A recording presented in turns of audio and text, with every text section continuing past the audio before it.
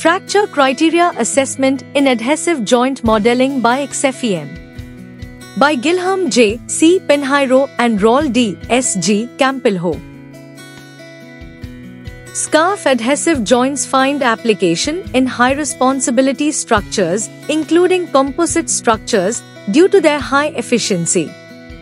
In this case, one of the most relevant geometric parameters is the scarf angle, alpha. The main objective of this work is to carry out a study to estimate the mechanical behavior of scarf adhesive joints as a function of alpha and the type of adhesive. Thus, an experimental and numerical study of scarf joints was carried out using the extended finite element method, XFEM, in which different adhesives were applied. Aluminum, AU6080 to T651, adherends were used in joints with different alpha being subjected to a tensile load. The values obtained experimentally and numerically were compared for each of the adhesives and alpha to validate the XFEM numerical method for determining the mechanical behavior of adhesive joints. The XFEM was validated for specific damage initiation and propagation criteria.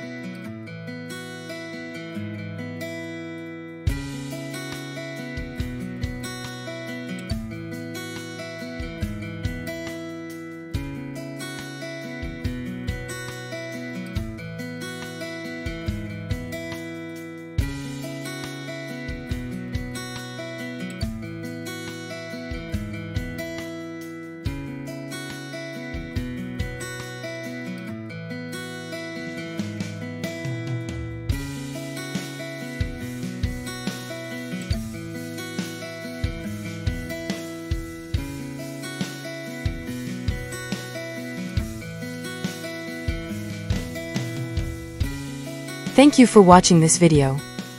Please subscribe for watch more scientific research video.